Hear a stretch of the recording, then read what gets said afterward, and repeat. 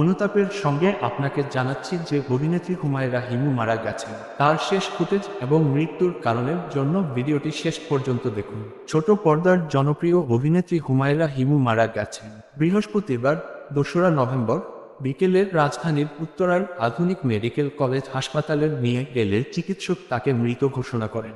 বিষয়টি ঢাকা পোস্টকে নিশ্চিত করেছেন অভিনয় শিল্পী সংঘের সভাপতি আহসান হাবিব নাসিম। তিনি বলেন আজ বিকেল সাড়ে চারটায় হিমুকে উত্তরার একটি হাসপাতালে নিয়ে গেলে চিকিৎসকরা তাকে মৃত ঘোষণা করেন। বিকেল সাড়ে তিনটার দিকে তিনি মারা গেছেন বলে ধারণা করা হচ্ছে। তিনি আরও বলেন, শুনেছি একজন যুবক হিমুকে হাসপাতালে নিয়ে যায়। এরপর সেই যুবক তার মোবাইল সহ পালিয়ে গেছেন।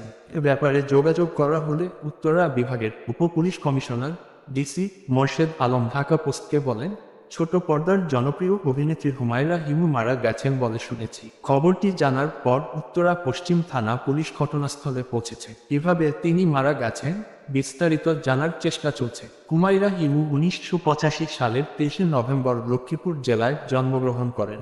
তিনি ইস্পাহানি কলেজ থেকে এইচএসসি এবং ইডেন মহিলা কলেজ থেকে স্নাতকোত্তর ডিগ্রি লাভ করেন। মঞ্চনাটকে অভিনয়ের মাধ্যমে তিনি প্রথম নাট্য জগতে প্রবেশ করেন। ফ্রেঞ্চ নামক নাট্য দলের হয়ে তিনি অভিনয় করেন।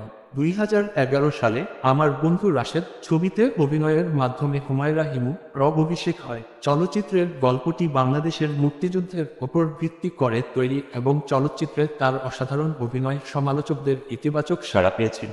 প্রিয় বন্ধুরা, নিচের মন্তব্য বাক্সে তার পরিবারের জন্য প্রার্থনা এবং সমবেদনা পাঠান। আরও তথ্যের জন্য আমাদের সাথে যুক্ত থাকুন। অনুগ্রহ করে আমাদের চ্যানেলটি সাবস্ক্রাইবও করুন।